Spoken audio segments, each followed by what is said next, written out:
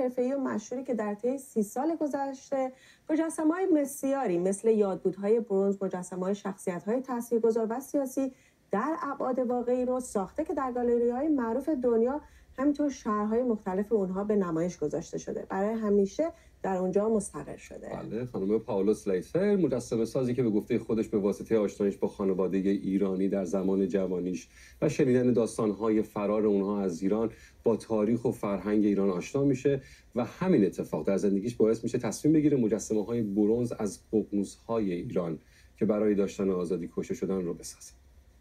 Hello, my name is Paula Slater, and I'm a sculptor. and I've had the good fortune of receiving many prestigious commissions. Um, I've sculpted more than four dozen uh, bronze portraits, life-size and monumental, public art, private memorials, and uh, that is my specialty. I've been chosen to sculpt many important commissions. Uh, Abraham Lincoln, Ulysses S. Grant, also our 18th president, uh, Neil Armstrong, the spacesuit, 15 castings of that piece, life-size, and my sculptures are seen by millions of people every year.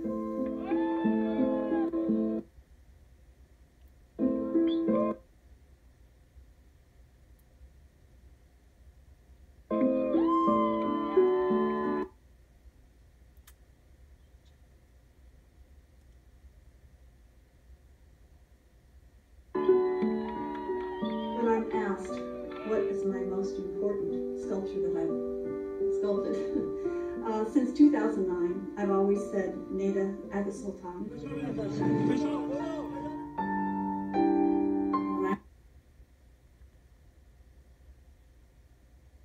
I saw the videotape of Neda being shot in the heart in 2009, I wanted to do something.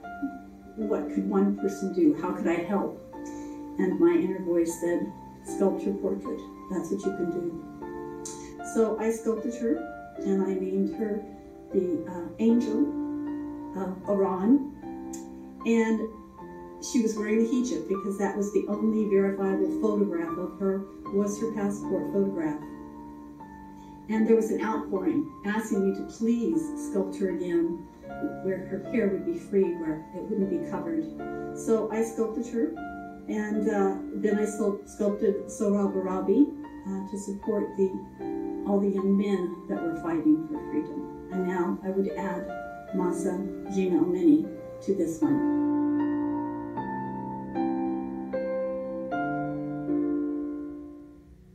I was contacted by uh, Neda's mother and her brother, who did find out about my sculpting this portrait of her and they said it gave them comfort.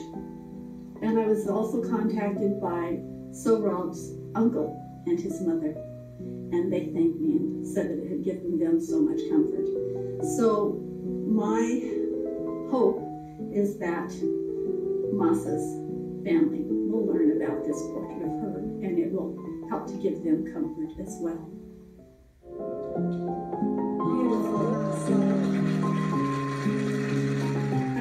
Hope justice to Mahsa Jina Amini. Um, in sculpting her portrait, I wanted people to be able to feel her spirit coming through, and when I'm sculpting, that's what I want to see. I hope someday to donate all of these bronzes.